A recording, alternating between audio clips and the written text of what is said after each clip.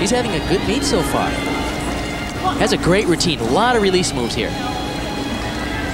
Second place in the all-around currently. Nice combinations. First release move, a reverse hecht.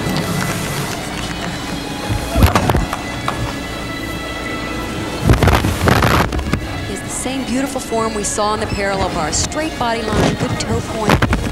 In terms of potential, you can do a lot with a young man with that kind of clean form. Here's the dismount. A double double. Oh no! Oh, that's too bad. A beautiful dismount in the